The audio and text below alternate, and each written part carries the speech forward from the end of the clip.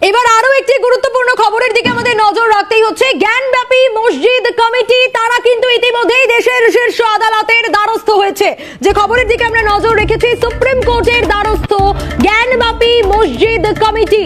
নজর রেখেছি ইতিমধ্যেই আরও একবার জানাব, পুজো দেওয়ার আদেশের বিরুদ্ধে আবেদন। এবং যে এএসআই এর রিপোর্ট হয়েছিল, সেই রিপোর্ট চূড়ান্ত নয়, আদালতের রায়ের দিকে তাকিয়েছিল জ্ঞানব্যাপী মসজিদ কমিটি। সেই প্রত্যেকটা আপডেট কিন্তু আমরা আপনাদের তুলে আপনাদের সামনে এবং পুজো দেওয়ার যে আদেশ, সেই আদেশের বিরুদ্ধেই আবেদন জানানো হয়েছে ইতিমধ্যেই। আপনাদের জানিয়ে রাখি, অত্যন্ত গুরুত্বপূর্ণ, দেশের শীর্ষ আদালতের দ্বারস্থ হয়েছে জ্ঞানব্যাপী মসজিদ কমিটি। পুজো দেওয়ার আদেশের বিরুদ্ধেই আবেদন তাদের তরফ থেকে।